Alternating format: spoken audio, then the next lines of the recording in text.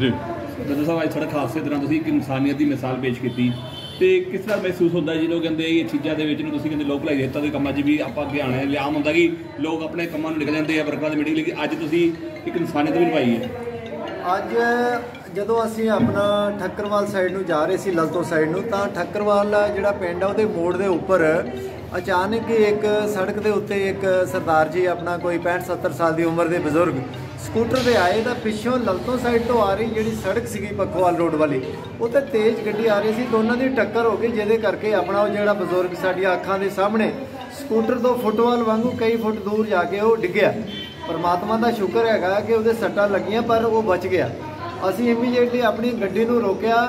ਸਾਡੇ ਨਾਲ ਚਾਰ ਪੰਜ ਗੱਡੀਆਂ ਸੀਗੀਆਂ। ਅਸੀਂ ਮੇਰਾ ਬੇਟਾ ਵੀ ਨਾਲ ਸੀ, ਮੇਰੀ ਵਾਈਫ ਵੀ ਨਾਲ ਸੀਗੀ। ਅਸੀਂ ਉਹਨੂੰ ਬਜ਼ੁਰਗ ਨੂੰ ਆਪਣਾ ਉੱਥੋਂ ਉਠਾਇਆ। ਪਹਿਲਾਂ ਤਾਂ ਕੋਸ਼ਿਸ਼ ਕੀਤੀ, ਉੱਥੇ ਇੱਕ ਭੱਲਾ ਹਸਪੀਟਲ ਹੈ।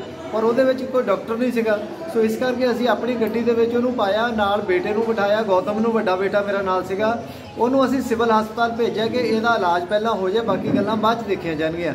ਉੱਥੇ ਮੇਰਾ ਜਿਹੜਾ ਭਤੀਜਾ ਆ, ਵੱਡੇ ਭਰਾ ਦਾ ਬੇਟਾ ਚਰਨ ਕਮਲ ਲੰਦੜ ਉਹ ਡਾਕਟਰ ਹੈਗਾ, ਉੱਥੇ ਵੱਡਾ ਡਾਕਟਰ ਹੈਗਾ ਤੇ ਮੈਂ ਉਹਨੂੰ ਵੀ ਫੋਨ ਕੀਤਾ ਕਿ ਵੀ ਇਸ ਤਰ੍ਹਾਂ ਕਰਕੇ ਦਲਜੀਤ ਸਿੰਘ ਨਾਂ ਦਾ ਵਿਅਕਤੀ ਆ ਰਿਹਾ ਹੈਗਾ, ਇਹਦਾ ਫੌਰੀ ਤੌਰ ਤੇ ਇਲਾਜ ਕੀਤਾ ਜਾਵੇ।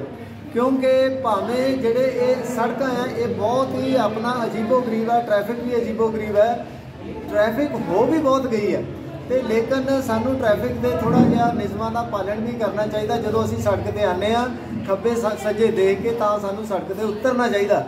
ਤੇ ਸਪੀਡ ਵੀ ਜਿਹੜੀ ਹੈਗੀ ਆ, ਇਹ ਸੜਕਾਂ 100 ਤੇ ਗੱਡੀ ਚਲਾਉਣ ਵਾਲੀਆਂ ਨਹੀਂ ਹੈ ਇਹਨਾਂ ਦੇ ਉੱਤੇ 40 50 ਤੋਂ ਵੱਧ ਸਪੀਡ ਨਹੀਂ ਚਾਹੀਦੀ ਤਾਂ ਕਿ ਲੋਕੀ ਅਚਾਨਕ ਜਿਹੜੇ ਆਂਦੇ ਆ, ਜਿਹੜੇ ਇੰਨੇ ਪੜ੍ਹੇ ਲਿਖੇ ਵੀ ਨਹੀਂ ਹੈ ਕਈ ਵਾਰੀ ਹੁੰਦੇ, ਜਿਨ੍ਹਾਂ ਨੂੰ ਇਹ ਪਤਾ ਨਹੀਂ ਹੁੰਦਾ ਕਿ ਮੇਨ ਰੋਡ ਤੋਂ ਕੋਈ ਫਾਸਟ ਟ੍ਰੈਫਿਕ ਜਾ ਰਹੀ ਹੈ ਸੋ ਅਚਾਨਕ ਐਕਸੀਡੈਂਟ ਦਾ ਕਾਰਨ ਬਣਦਾ ਆ, ਜਾਨ ਮਾਲ ਦੀ ਨੁਕਸਾਨ ਹੁੰਦਾ ਆ ਮਸ਼ੀਨਰੀ ਦਾ ਨੁਕਸਾਨ ਹੁੰਦਾ ਆ ਤੋਂ ਪਰਮਾਤਮਾ ਇਹ ਸਾਡੇ ਐਕਸੀਡੈਂਟ ਤੋਂ ਬਚਾਵੇ ਤੇ ਪ੍ਰਸ਼ਾਸਨ ਨੂੰ ਚਾਹੀਦਾ ਆ ਕਿ ਜਿੰਨੀਆਂ ਰੋਡ ਜਿੰਨੀਆਂ ਲਿੰਕ ਰੋਡਸ ਮੇਨ ਰੋਡ ਦੇ ਉੱਤੇ ਐਂਟਰ ਕਰਦੀਆਂ ਉਹਨਾਂ ਤੋਂ ਪਹਿਲਾਂ ਕੋਈ ਸਪੀਡ ਬ੍ਰੇਕਰ ਲਗਾਏ ਜਾਣ ਤਾਂ ਜੋ ਸਪੀਡ ਆਟੋਮੈਟਿਕਲੀ ਆਉਣ ਵਾਲਾ ਬੰਦਾ ਵੀ ਆਟੋਮੈਟਿਕ ਸਲੋ ਹੋ ਕੇ ਆਵੇ।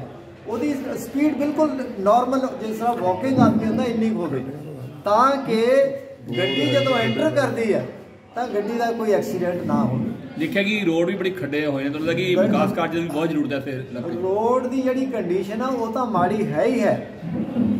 ਲੇਕਿਨ ਛੋਟੇ ਛੋਟੇ ਪ੍ਰੀਕਾਸ਼ਨ ਲੈਣ ਦੇ ਨਾਲ ਜਿਵੇਂ ਸਪੀਡ ਬ੍ਰੇਕਰ ਅਗਰ ਲੱਗ ਜਾਣ ਤਾਂ ਜਿਹੜੀ ਸਪੀਡ ਕਿਲ ਹੋ ਜਾਂਦੀ ਹੈ ਜਿਹੜਾ ਬੰਦਾ ਆਂਦਾ ਮੇਨ ਰੋਡ ਦੇ ਉੱਪਰ ਉਹ ਆਪਣਾ ਹੌਲੀ ਆਏਗਾ ਐਕਸੀਡੈਂਟ ਨਹੀਂ ਹੋਏਗਾ।